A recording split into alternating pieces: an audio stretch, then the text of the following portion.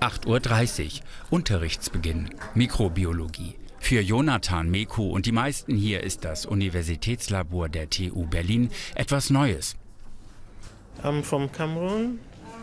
Ich komme aus Kamerun, aus Jeju und arbeite als Manager in einer Brauerei. Dort haben wir ein Mikroskop, aber durch dieses Seminar hier kann ich unseren Mitarbeitern beibringen, wie man es richtig benutzt.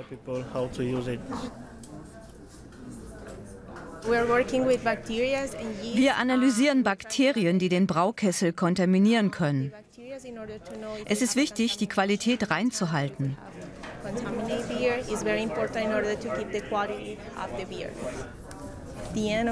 Am Ende des Semesters werde ich sehr viele Freunde kennengelernt haben.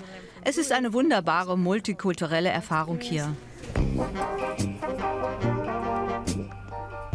11 Uhr. Dieses Bier haben sie selber hergestellt. Qualitätsprobe an der Uni-Brauerei.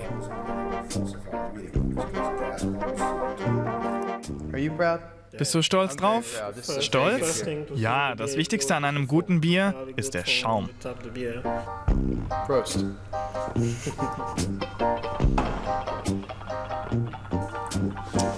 Schnell, wir müssen zum Unterricht. Sechs Monate dauert die Ausbildung zum Braumeister. Kosten 15.000 Euro. Burkhard Meyer trägt die Traditionstracht der Bierbrauer. Das ist meine Berufskleidung. Die schützt den Körper beim Brauen. 13 Uhr, Bibliothek. Schon immer war die Schule ein Magnet für internationale Studenten.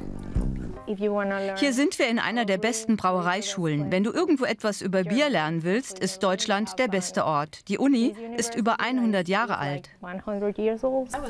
Am Ende des Studiums bekommen sie ein Braumeisterdiplom. Für viele der 60 Teilnehmer eine Jobgarantie.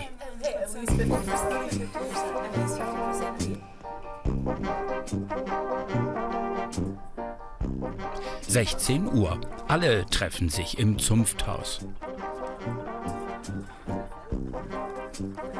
Heute testen sie die Bierproben der Teilnehmer aus 40 Nationen. Und ebenso viele Geschmacksrichtungen. Eine harte Arbeit.